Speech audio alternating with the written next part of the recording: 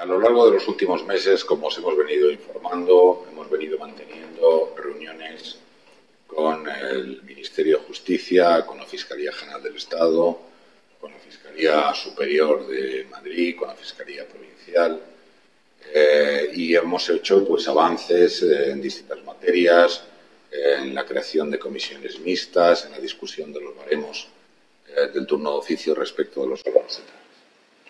Bien, se ha producido un cambio en el Ejecutivo, inesperado, pero esa es la realidad. Yo lo que espero es que este cambio de gobierno,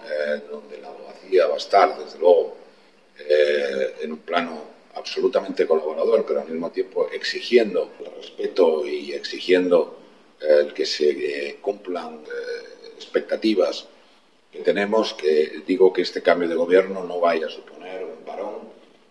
obligue a empezar de nuevo respecto de lo ya avanzado. Confío en que sirva de continuidad y que podamos no dilatar la solución de, las, eh,